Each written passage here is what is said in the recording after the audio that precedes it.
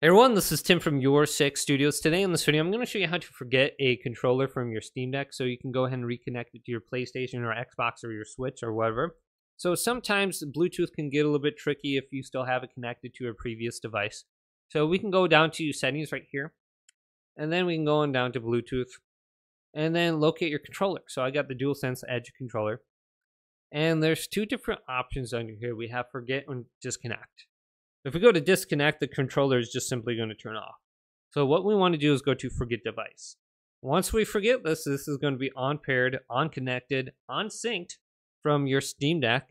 And then if you press the PlayStation button now, it's going to start looking for a console to connect to. And this is when you can go ahead and reconnect it to your PlayStation 5. Just go ahead and put it in the sync mode and I believe you should be able to connect now with the new PlayStation 5 update. Otherwise, grab a USB cable and just slam it in there and then press the PlayStation button. It should reconnect really quick. So just come in the section and you should be good to go. Hopefully, this video did indeed help you guys out. Did leave it a big thumbs up and subscribe my channel down below for more tech videos coming up next on Your Six Studios.